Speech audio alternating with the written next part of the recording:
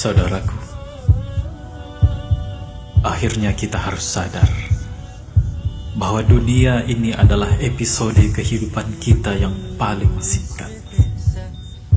Setelah episode dunia kita usai, kita akan beranjak ke sebuah kehidupan baru bernama alam kubur.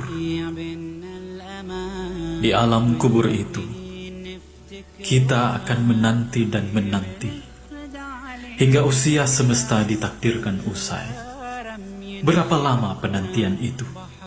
Entahlah, hanya Allah yang Maha Tahu tentang seberapa lamanya ia. Yang pasti, ia akan lebih lama dari fase dunia kita. Mungkin ratusan tahun, mungkin juga puluhan ribu tahun. Lalu, setelah itu apa? Kiamat akan terjadi. Kita dibangkitkan kembali untuk sebuah pertanggungjawaban. Kita akan menunggu di padang mahsyar. 50 ribu tahun lamanya menanti pengadilan Allah yang tak meninggalkan kecil atau besar amal kita. Semua akan dipertanggungjawabkan. Di sana, kedua kaki ini takkan bergeser sedikit pun hingga hisab dan pengadilan itu usai.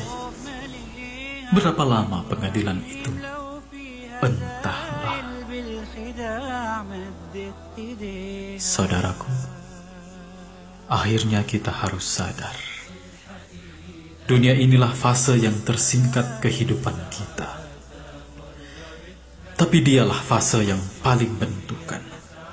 Bahagia tidakmu di episode berikutnya adalah tentang bagaimana engkau melewati hari-hari duniamu. Jadi, apa yang engkau telah siapkan untuk itu? Jika gelap kubur memeluk jasadmu yang lemah, jika malaikat mencecarmu dengan tanya, jika engkau sendiri di kelam barsah tanpa siapa, apa yang akan kau lakukan? Taubat tak lagi berguna, sujud tak lagi berdaya, istighfar tak lagi bisa terlantung. Bergegaslah bersimpuh, menangislah dalam pertaubatanmu, karena tidak lagi ada waktu yang cukup. Mungkin esok perjalananmu berakhir di sini, di dunia yang rapuh ini.